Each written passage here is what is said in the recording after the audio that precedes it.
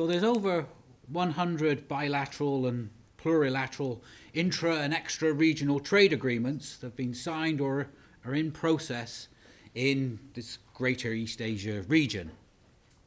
Uh, the most important of which, uh, so uh, ASEAN's own free trade agreement, but it's also signed ASEAN plus one agreement, so this is Association of Southeast Asian Nations, agreements with China and Japan and Korea. So that's in place, those are in place. Also being negotiated at the moment are, is a free trade agreement between China, Japan, and South Korea, an ASEAN plus six regional comprehensive economic partnership. So we don't have trade agreements anymore, we have partnerships. Uh, and that is scheduled to uh, be completed by the end of 2015. We have the Trans Pacific Partnership, the TPP, with 12 members including Canada, which is supposed to be uh, completed by the end of this year.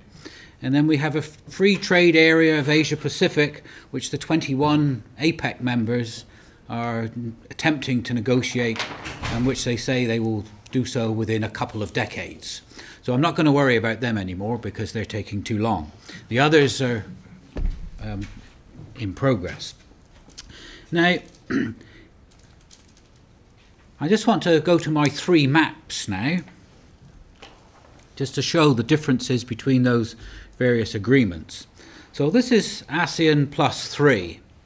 So the 10 ASEAN countries uh, plus China plus South Korea plus Japan. And this is China's preferred view of the region and preferred uh, negotiating group and I'll explain uh, the way it's doing that uh, in a bit. This is the uh, this is ASEAN's initiative, the Regional Comprehensive Economic Agreement, which is the, the 10 ASEAN countries, plus China, plus, plus South Korea, plus Japan, plus India, Australia, and New Zealand. So that's another one that's under negotiation. And then finally, with map three, there's the Trans Pacific Partnership Agreement uh, with the US, Canada, Mexico, Peru, Chile. Uh, four of the 10 ASEAN members are currently members of that. Australia, New Zealand, and Japan has just joined in the talks too. Noticeably absent is China. So this uh, sets a question about well, what's going on here. So uh, we heard from Marty this morning a lot about um, the production change and the integration of them uh, within East Asia and uh, the importance of the US market too. But these seem to be attempts that are more to do with dividing the region than, than integrating it in some sense with the US on one side and China on the other, which suggests that the sorts of issues that Matthias was talking about around geopolitics might be uh, uh, more important in that case. So, uh, what I want to argue is that these, those trade agreements which are uh, underway are part of uh, a refiguring of the geopolitics of China's rise. So, countries, including China, are trying to figure out what its rise means for the region and what that region is whether it's Asia or whether it's uh, Asia Pacific.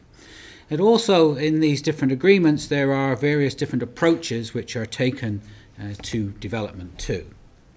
So, just let me start with uh, what China's been doing.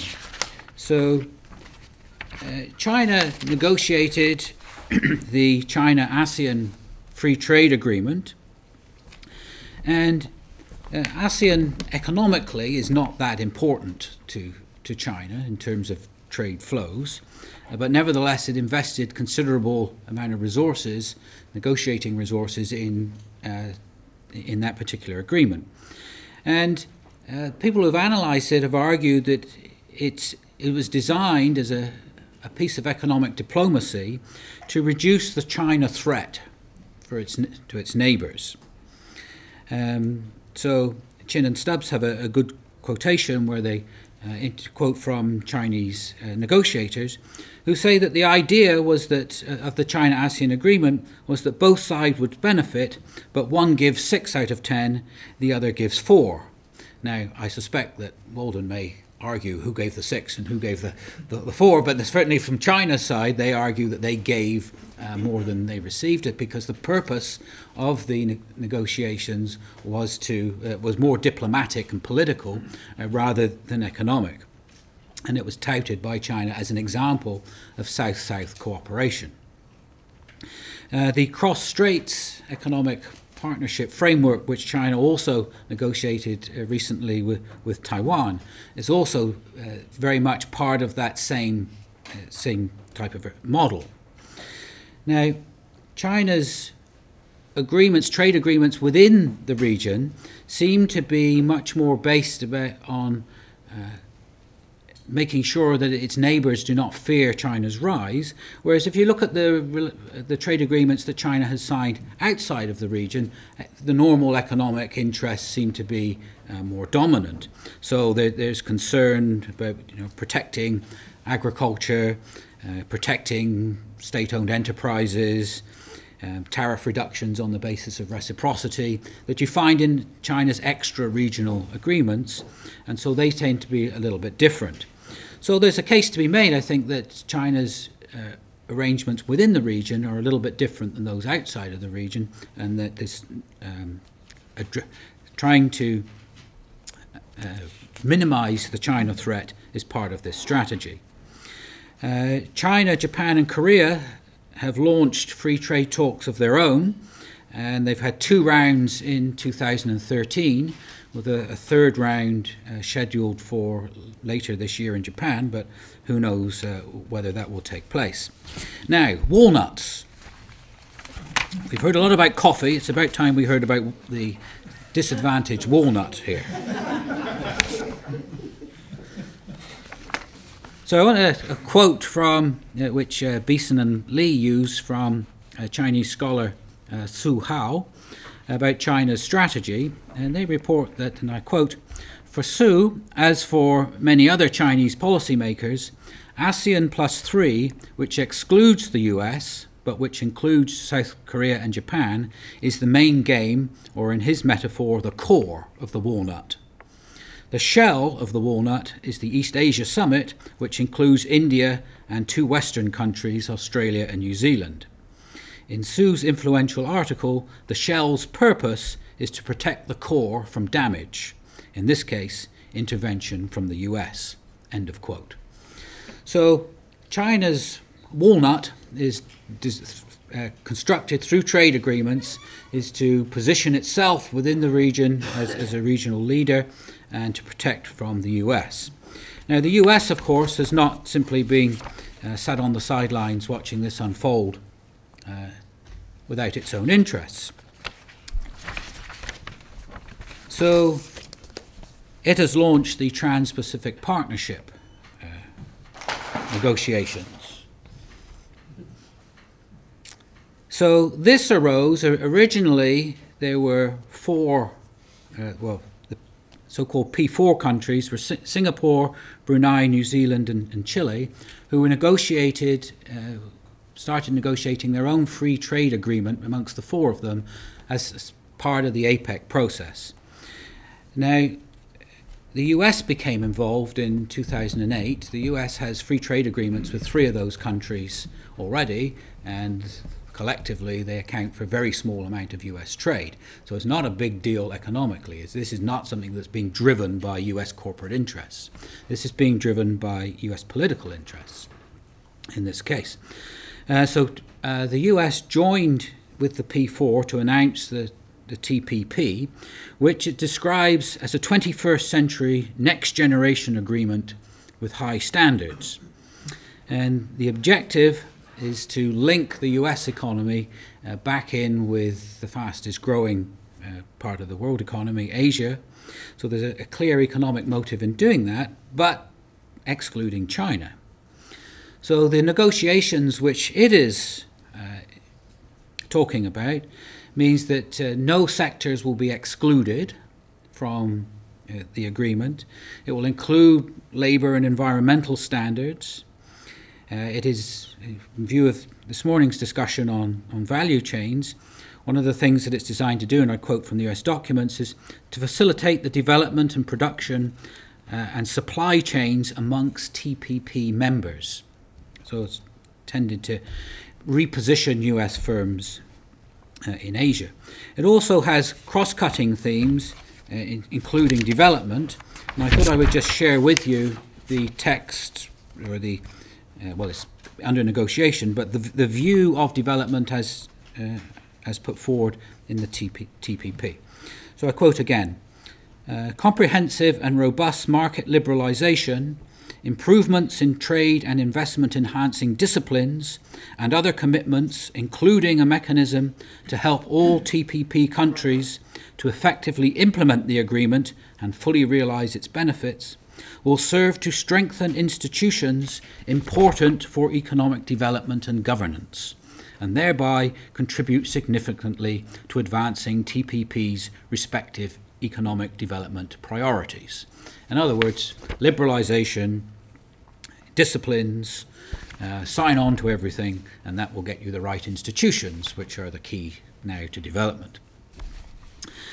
Okay, so uh, people have argued that what the US is doing in, in this strategy is adopting what's called a tipping point strategy. By the US joining with the, these four countries, then that would encourage others to join in too.